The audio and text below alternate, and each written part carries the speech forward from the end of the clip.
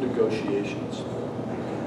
If I'm talking to Wayne, and I don't hope you don't mind me keep using you as an example. If I'm talking to Wayne and we know we're in a negotiation, how guarded are we about information?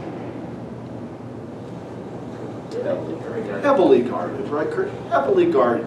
We're watching everything that we say in this negotiation. How about if my engineer goes and talks to their engineer?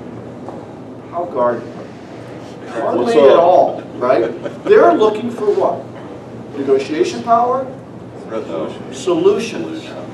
So if our engineer goes and talks to their engineer, but our engineer thinks about negotiations, and their engineer doesn't, who's going to have a better chance to learn better, learn, get more intelligence? Our engineer. Because he or she is thinking from a point of view, I need to find out certain things. The key then is bringing that information back to the negotiator, so now they have some power in that negotiation. We call them nuggets. I do a whole class on nuggets.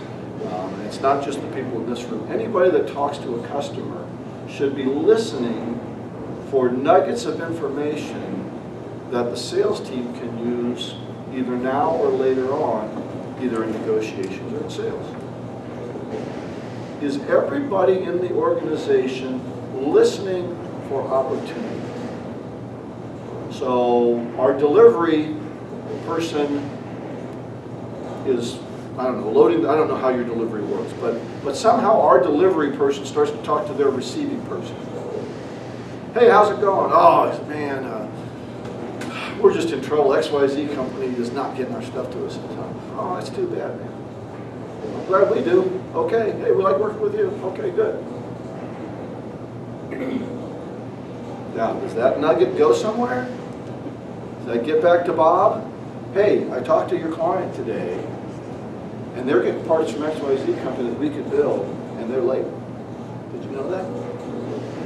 Might not be good today, but it might be good when the negotiator says, well, we've been doing business with XYZ company, and, you know, they're just doing a fine job. Well, I understand they're late sometimes. How much does that cost? It's a nugget.